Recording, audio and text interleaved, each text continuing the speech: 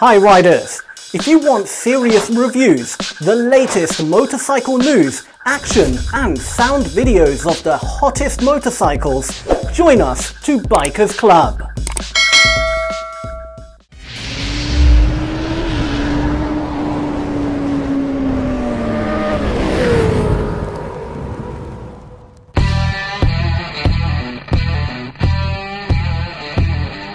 Finally, Yamaha launched its Spider-Man edition.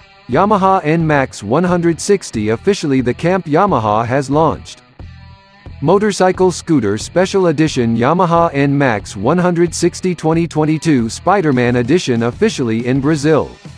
Whichever the model name it was a collaboration with Marvel to bring colors and patterns from Spider-Man characters, to this Yamaha NMAX 160 although the scooter is numbered as NMAX 160, but the fact that the engine is rated 155 cc, one cylinder, four valves with variable valve timing, VVA provides a maximum horsepower of 15.2 horsepower, the same as that sold in our home.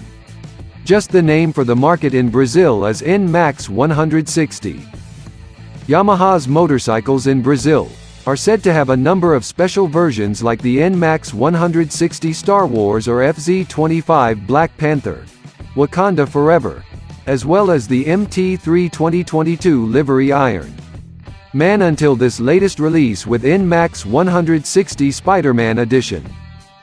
This version of the bike will use a color scheme based on Spider-Man outfit in red, blue and silver bronze mixed together based on the color scheme of the latest version of Spider-Man that Tom Holland is a performer which is considered to welcome the arrival of the latest movie, Spider-Man No Way Home. The price of 2022 Yamaha NMAX 160 Spider-Man, around $2,911.